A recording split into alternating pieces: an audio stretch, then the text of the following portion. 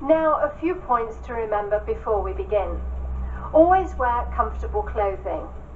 It's not advisable to exercise on a full stomach.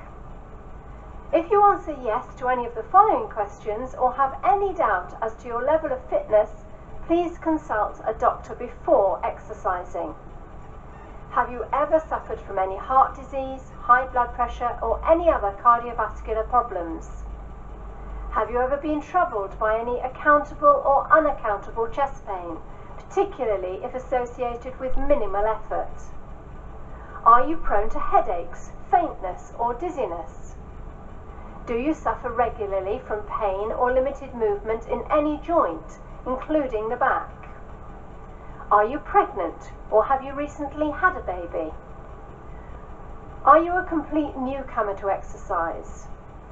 Have you any medical condition which you think might interfere with your participation in an exercise program? Ba